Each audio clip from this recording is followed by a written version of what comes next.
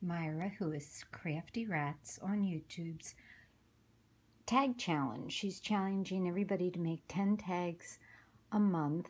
No, five tags a month.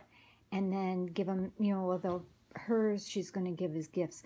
I'm going to try to make as many as I can. Hold on here. I have like, I don't know, like 15 of these containers all with Christmas paper and doodads, you know, like little embellishments that I've cut out or, you know, sorted. And I want to use this stuff up. Up, up, up. See, this one's got like, I don't know, all kinds of things in it. This one's got stamps and lots of things in it, but all of these have Christmas and there's more in another room. So I'm joining the challenge and I'm going to try to make as many as I can. So this month, what, what I did so far is I took some of these white tags from Tuesday morning and then I, let's see, what did I do? I used some paint and stenciled it on.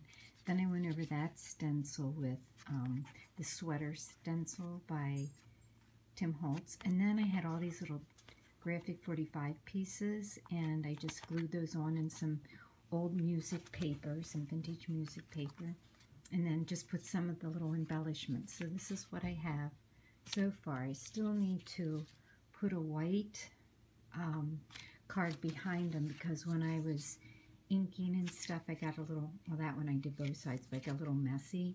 So, oops, and I set that one in stickles. I forgot that I just stickled this, so I might have to do, yep, I'll have to do a little repair on that one. Um, there's one more over here. And there's this one too. And I think they're really pretty. But I'm going to take a white card and glue it to the back. I'm using my phone, so this is really different. Um, and glue it to the back, and then I'm going to stamp it with a big for you or to and from from this set um, by Die-namics. And this has a nice tag stamp and die that goes with it that I've had for ages. So that is going to be my entry for January's tags at Crafty Rats. Hi Myra, this is going to be fun. I'm going to try to use up all my Christmas stuff if I can. So thanks for watching everybody and head on over to Crafty Rats. I'll put her um, link down here and I will see you later. Bye. Oh, I, I know.